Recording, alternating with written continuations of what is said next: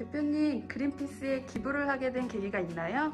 크린텍은 매년 소아 백혈병 어린이, 뭐 또 난민, 어, 그리고 보육원 등 다양한 곳에 매년 기부를 했는데요.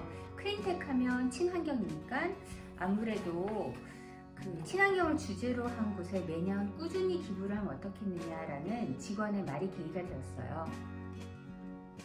그러면 해마다 같은 금액을 기부하시나요? 그렇지는 않아요. 친환경 대 출고될 때마다 기부를 하다 보니 매해 금액이 좀 다르기는 해요. 그런데 매해 올라가고 있어요. 어떤 장비가 친환경 장비에 해당되나요? 화학 세제를 사용하지 않는 이시워터, 화학 방미제를 사용하지 않는 오비탈, 화학 광택제를 사용하지 않는 전기 광택기 등이 있어요.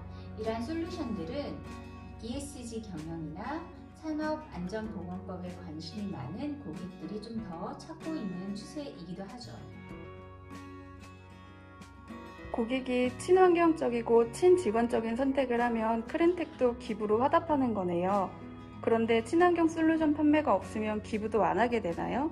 그렇지는 않아요.